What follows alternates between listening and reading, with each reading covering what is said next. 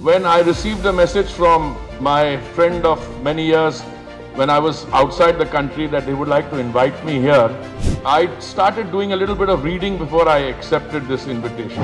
And I came to the interesting conclusion that, and I, this is part of what I found, that a report by Goldman Sachs in August 2023 described the global creator economy as set to nearly double to $480 billion by 2027.